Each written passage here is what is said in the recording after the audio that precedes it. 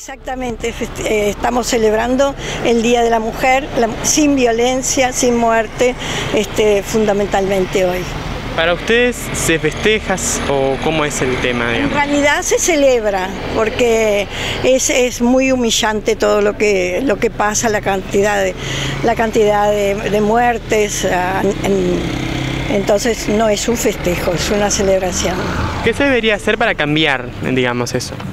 Es así que es brava. Eh, y bueno, hacer, hacer algo eh, eh, que no, sé cómo, Claro, en realidad lo que hay que hay que clarificar el tema, porque yo creo que hay muchísimas mujeres que no se sienten violentadas y que realmente están violentadas.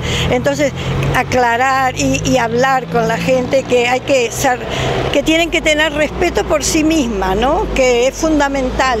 En la medida que vos te respetás, te van a respetar a vos.